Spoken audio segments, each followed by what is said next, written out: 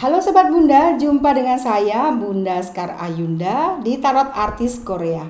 Kali ini Bunda akan mengupas perjalanan karir dari Kim Sien Ho setelah Kim Sien Ho terkena masalah.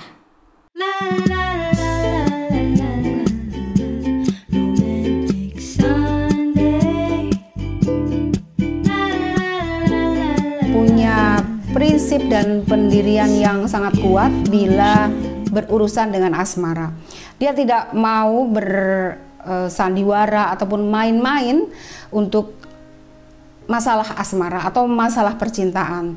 Sangat bertanggung jawab.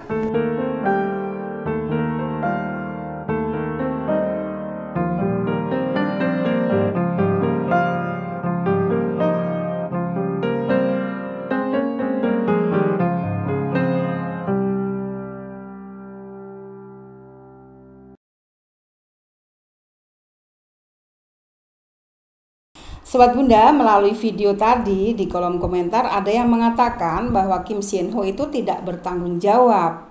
Namun, kita tahu bahwa Kim Sien Ho melalui masalahnya dia sebetulnya bertanggung jawab ya.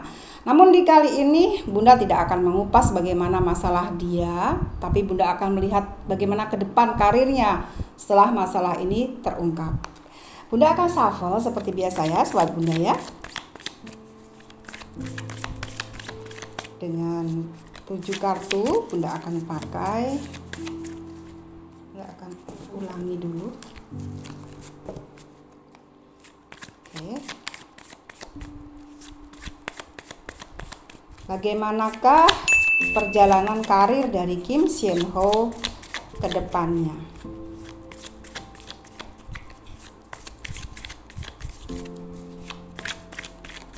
Oke. Jadi dengan persoalan yang dihadapi seperti di awal tadi ada yang mengatakan bahwa dia sosok yang tidak bertanggung jawab. Namun sobat Bunda banyak menonton video-video dari beberapa YouTuber yang mengatakan bahwa sebetulnya dari awal Kim Sien Ho itu juga bertanggung jawab ya. Namun karena ada dari seorang wanita yang memang dia itu menyarankan atau memberikan opsi ada yang bisa menggugurkan, maka terjadilah pembicaraan-pembicaraan yang mengarah kepada bagaimana Kim Sien Ho menyetujui atas inisiatif aborsi gitu ya. Tapi sekarang Bunda akan lihat ya bagaimanakah uh, hati dan perasaan dari Kim Sien Ho saat ini. Kim Sien Ho. Di sini uh, karakter dia sudah Bunda sebutkan di video yang lalu. Tapi di tiga kartu ini bagaimana perasaan dan hatinya. Di sini yang bisa Bunda lihat adalah dari Raja Pedang. Walaupun saat ini dia konon kabarnya dia terluka dan juga mengalami hal yang berkaitan dengan mental ya, sakitlah pikirannya sakit, mentalnya saat ini sakit dan butuh pemulihan untuk itu, tapi dari proses penyembuhan atau proses pemulihan mental ini bakal berhasil. Banyak yang mensupport dan memotivasi dia, maka seperti Raja Pedang ini dia akan menjadi sosok yang tangguh dan ini dijadikan oleh Kim Sien Ho sebagai pembelajaran supaya di 2022 nanti tidak lagi bisa bebas dalam berkenalan dengan seseorang. Ini juga berlaku buat kalian ya sobat Bunda. Kemudian bila kita lihat karirnya, di sini ada sang ratu. Ibaratnya adalah seperti sosok yang atau seperti orang yang naik tangga ke atas kemudian jatuh Rupanya di sini Kim harus mengulang kembali bagaimana prestasinya. Kim harus mulai kembali dari nol untuk membuat citra dirinya ini baik. Ada sang pesulap ke depan bila kita lihat bagaimana perjalanan karirnya sini akan sangat bagus seperti Bunda bilang di awal akan banyak yang memberi motivasi kepada dia dan kartu sang pesulap ini adalah bagaimana keterbukaan dari beberapa orang dalam perusahaan entertain yang berkaitan dengan Kim Shin Ho yang menerima bakal menerima dia kembali? Karena memang harus dipisah ya pola pikir pola pikir mengenai bila orang yang sudah terkenal kemudian terkena masalah bakal juga jatuh. Ini mulai harus diubah pola pikirnya antara masalah pribadi dan karir jangan dicampur adukkan. Dan para fansnya pun juga harus bijak ya sobat bunda. Terutama kalian yang memang akhirnya membenci. Di sini bunda sering bilang kita harus netral karena masalah karir dan masalah pribadi tidak bisa dicampur adukkan. Bagaimana di kartu berikutnya? Di sini masih melibatkan hati.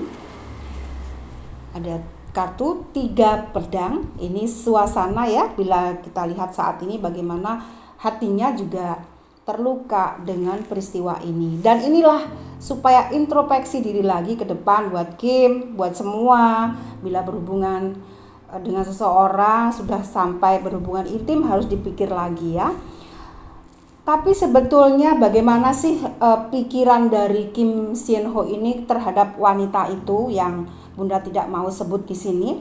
Sebetulnya dia punya rasa sayang dari kartu ini bisa kita lihat, Bunda bisa merasakannya. Ada 10 piala. Dia sebetulnya memang tidak uh, tidak hanya bohong atau dia hanya pura-pura mencintai wanita itu tidak. Dia punya planning ke depan dengan wanita ini. Namun di sini Bunda tidak membahas masalah wanita itu, tapi Bunda membahas masalah karir. Maka karena kurang kesabaran dari dia wanita itu maka di sini apa yang direncanakan oleh Kim ini terputus begitu saja ya karena Kim saat, ini juga lebih memilih ke karir dulu inilah harus diintrospeksi nah kartu ini berikutnya ada kartu yang memberikan memberitahu kita tentang pembantu koin. Ini memberikan pesan bahwa ke depan karirnya Kim akan baik-baik saja. Dan akan naik lagi karirnya, pundi-pundi uang juga akan mengalir pada diri dia. Dan di sini bisa Bunda lihat berkaitan dengan karirnya. Sekali lagi Walaupun dia memulai dari nol lagi, namun ke depan tetap nama Kim Sien Ho menjadi idola buat para penggemarnya. Bagaimana Bunda akan lihat lagi di dua kartu berikutnya, kartu paling akhir menara dan di sini ada kartu yang mengartikan matahari. The Sun dan The Tower atau menara. Ini adalah kartu di mana e, menara ini saat ini karir yang sudah e, ibaratnya ada kegagalan, ada nama baik yang tercoreng di sini, karir yang gangguan ya ibaratnya ada nama baik yang tercoreng, pencitraannya juga citranya juga tidak baik.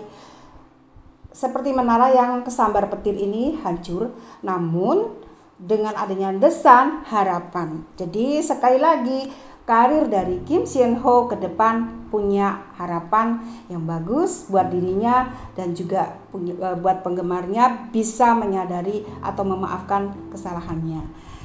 Oke, sobat Bunda, buat kamu itu adalah gambaran dari bagaimana Kim Sien Ho lewat melalui karirnya ke depan.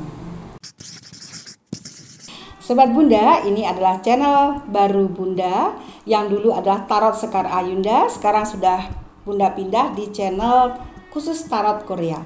Jadi buat kamu yang baru saja menemukan channel YouTube Bunda ini, please subscribe, like bila kamu suka dan kirimkan pesan di kolom komentar artis siapa saja terutama khusus tarot Korea, artis Korea siapa saja yang bisa kita bahas di video selanjutnya. Sampai jumpa, salam.